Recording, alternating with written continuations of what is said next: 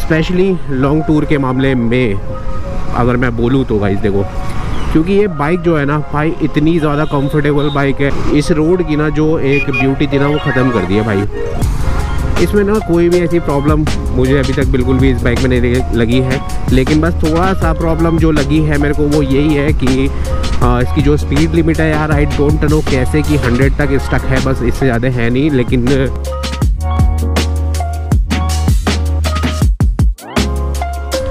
So okay guys okay आज अपने पास आ चुकी है बजाज एवेंजर 160 और मौसम देख रहे हो एक बार?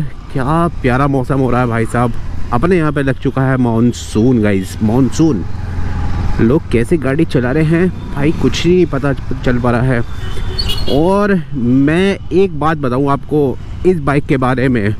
ये जो बाइक है ना, भाई, ये one of the most comfortable bike है इन सिटी राइड और टूरिंग राइड के मामले में अगर आप सिंगल यानी कि सोलो राइड के लिए जाते हो तो तो तो भाई देखो one of the best bike है। So welcome back to the channel guys welcome back to the new fresh video with a new fresh vlog स्वागत है गाइज़ आप लोगों का एक और नए बढ़िया से, बेहतरीन से मौसम वाले वीडियो में गाइज़ और अपने यहाँ पे कांवड़ यात्रा शुरू होने वाली है। सो बैरीगेट वगैरह लग गए हैं। अब अब ये देखना है कि अपने को कि क्रॉस कहाँ से मिलेगा यार? अपने को सारी जगह बंद कर दिया। यार, अब तो कहीं से निकलने का रास्ता भी नहीं है। बहुत ही दूर जाना पड़ेगा, घूम के आना पड़ेगा।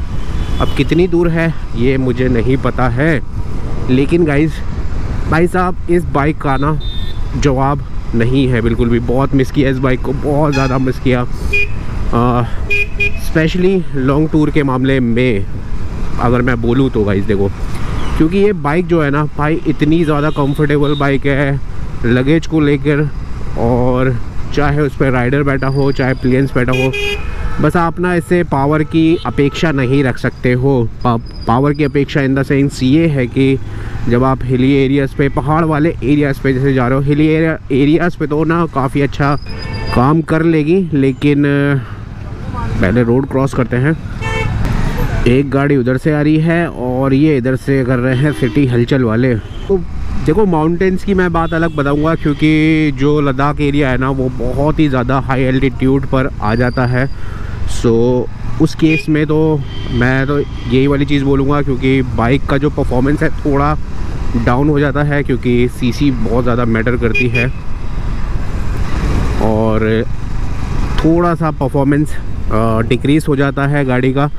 सो ये चीज़ तो देखो डेफिनेटली होती ही होती है। और बाकी सो so, मैं बोल रहा था कि देखो परफॉर्मेंस तो डिक्रीज़ होती है क्योंकि जब हाई एल्टीट्यूड हो जाता है ना तो लैक ऑफ़ ऑक्सीजन की कमी से ये चीज़ें होने लग जाती हैं क्योंकि इंजन को ऑक्सीजन की ज़रूरत उतनी ही पड़ती है जितनी पेट्रोल की पड़ती है। पेट्रोल प्लस एयर के कॉम्बिनेशन से मतलब कॉम्बिनेशन से ये चीज़ काम करती है और इसलिए थोड़ा बहुत, देखो, फ़र्क तो पड़ जाता है। माउंटेन्स एरिया पे क्योंकि बहुत ज़्यादा हाई एल्टीट्यूड होती है तो उसमें थोड़ा सा, देखो प्रॉब्लम करती है। लेकिन इतना भी प्रॉब्लम नहीं करती कि आप अगर सोच रहे हो कि यार इसको ले ले जाए या नहीं ले जाए, काम अच्छा करेगी डेफिनेटली आपको, आपकी मंजिल तक पहुंचाएगी बिल्कुल। ऐसा नहीं है कि नहीं पहुंचाएगी, लेकिन मेरा जो कहना, मेरा जो मोटिव जो है, यही है कि ये गाड़ी ना थोड़ा सा आपको स्ट्रगल फेस करवाएगी थोड़ा सा अगर आप सिंगल हो तो नो इशू नो प्रॉब्लम लेकिन थोड़ा तो करवाएगी, देखो। लेकिन आप हिल्स एरिया पे जाते हो जैसे कि आ, मैं यूपी से हूँ उत्तर प्रदेश मेरठ से हूँ तो हमारे आ, जस्ट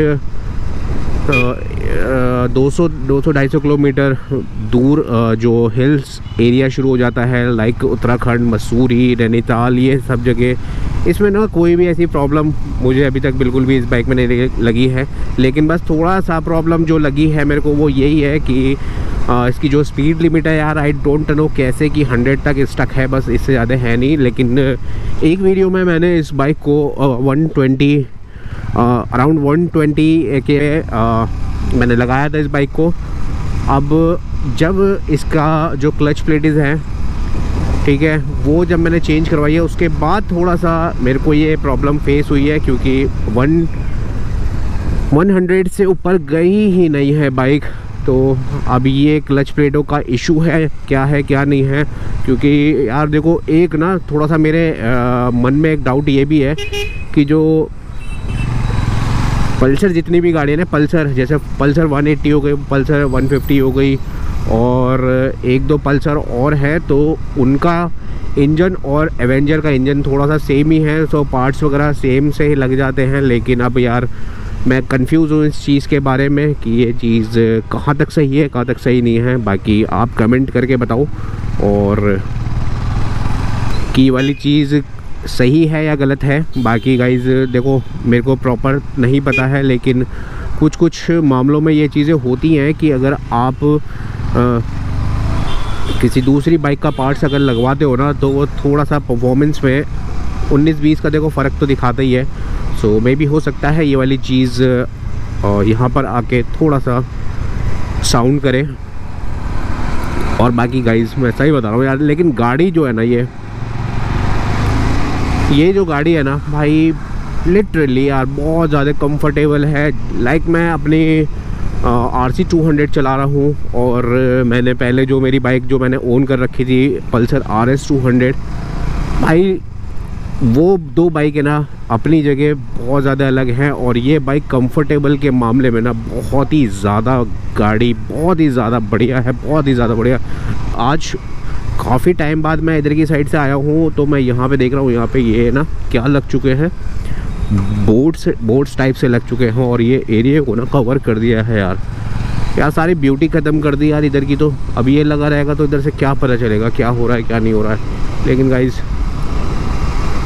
इस रोड की ना जो एक ब्यूटी थी ना वो ख़त्म कर दिया भाई। और मैंने थोड़ा सा इसमें देखो चेंजेस करा है। पहले मेरे बाहर एंड मिरर लगे हुए थे तो वो मैंने हटा के आ, मैंने प्रॉपर जो वाले जो मिरर्स है ना मैंने ये लगा लिए हैं।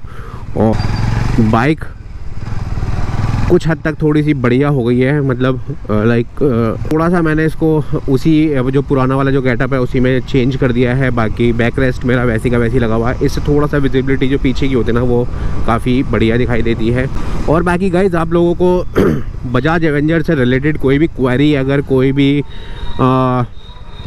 क्वेश्चन है ना आपके पास तो आप प्लीज़ मेरे से कमेंट करके आप मेरे से पूछ सकते हो, मेरी इंस्टाग्राम आईडी पे आप मैसेज कर सकते हो चाहे। आपको कोई भी क्वारी चाहिए हो इस बाइक से रिलेटेड इसके प्राइस के बारे में, इसका परफॉर्मेंस के बारे में, इसकी हर चीज़ के बारे में आप पूछ सकते हैं तो मैं आपको बता सकता हूँ गाइस और बाकी तो डायरेक्ट आप कमेंट भी कर सकते हो और इंस्टाग्राम की आईडी मेरी नीचे मेंशन है डिस्क्रिप्शन में भी आप वहाँ जाके चेकआउट कर सकते हो। वहाँ पे काफ़ी सारा स्टफ़ है बाइक राइडिंग को लेकर और ट्रैवल को लेकर। तो आप उस चीज़ को भी चेकआउट कर सकते हो गाइस और बाकी रास्ते ना काफ़ी सारे डाइवर्ट कर दिए हैं क्योंकि कावड़ यात्रा शुरू होने वाली है। तो यानी कि आज आज से हाँ आज से शुरू हो चुकी है बाईस तारीख से आ, था। तो बाईस तारीख से शुरू हो चुकी है। जब तक जल वगैरह नहीं चढ़ जाता है ना, तब तक रूट थोड़े से ऐसे ही डाइवर्जन रहेंगे और थोड़ा सा मतलब ट्रैफ़िक लगने के ना बहुत ज़्यादा चांसेस रहेंगे भाई साहब इस वाले मौसम में। और मौसम इतना बढ़िया हो चुका है, कभी बारिश हो रही है, कभी मौसम इतना सुहाना सुहाना हो रहा है भाई। अलग ही मौसम चल रहा है अपने यहाँ का तो। और थोड़ा सा ऐसे ना अपने को कोल्ड वगैरह भी हो रहा है यार, मौसम चेंज हो रहा है ना तो बहुत सारी चीज़ें चेंज होती जा रही है बॉडी एडजस्ट करती है हर मौसम में, जैसी मौसम बदलता है उसी हिसाब से। और बाकी मैंने इसका जो हैंडल है ना, थोड़ा सा जो पहले मैंने क्या कर रखा था, नीचे कर रखा था मतलब डाउन कर रखा था तो मैंने थोड़ा सा इसको ऊपर कर दिया ताकि टूरिंग वाला पूरा जो ग्रिप है, वो मिलती रहे मेरे को।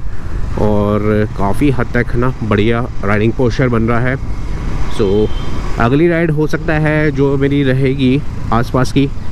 तो डेफिनेटली मैं आप अवेंजर से ही करूँगा क्योंकि लगेज के मामले में थोड़ा सा और कंफर्टेबल के मामले में ना यार गाड़ी बहुत बढ़िया है बहुत प्यारी गाड़ी है यार।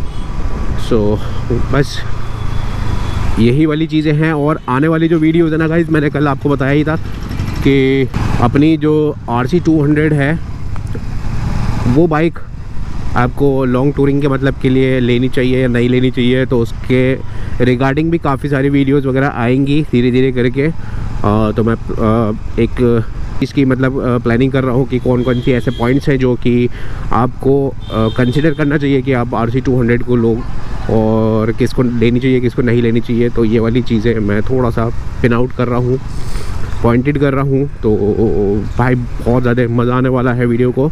स्टे ट्यून स्टे वॉच और चैनल के ऊपर नए हो तो प्लीज़ सब्सक्राइब कर लो साइड में जो बेल आइकन है ना, उसको ऑल कर लो, ताकि जितनी भी लेटेस्ट नोटिफिकेशन जितने भी शॉर्ट्स वगैरह आते हैं, जितनी भी वीडियोस आती है तो सबसे पहले वो आप तक पहुँचने पाए, और आपके पास एक नोटिफिकेशन पॉपअप हो सके, और और आप इन्जॉय करने पाओ ब्यूटीफुल राइड को ब्यूटीफुल व्लॉग्स को और क्रेज़ी शॉट्स को गाइज़ ठीक है गाइज़ और जो मेरे पुराने सब्सक्राइबर हैं तो प्लीज़ एक चीज़ नोटेड कर लीजिए। जो बेल आइकन है, वो आपका ऑल है कि नहीं है? अगर ऑल नहीं है तो उसे ऑल कर लो, क्योंकि बहुत सारी वीडियोस आप मिस कर जाते हैं। तो गाइज़ बस यही वाली चीज़ है। बाकी वीडियो पसंद आई हो तो लाइक कर दीजिएगा शेयर कर दीजिएगा कमेंट कीजिएगा। बाकी गाइज़ वीडियो को करते हैं यहीं पर ही एंड मिलते हैं गाइज़ नेक्स्ट वीडियो में नेक्स्ट व्लॉग में। तब तक गाइज़ अपना बहुत सारा बहुत सारा ख्याल रखिएगा। bye bye and take care guys.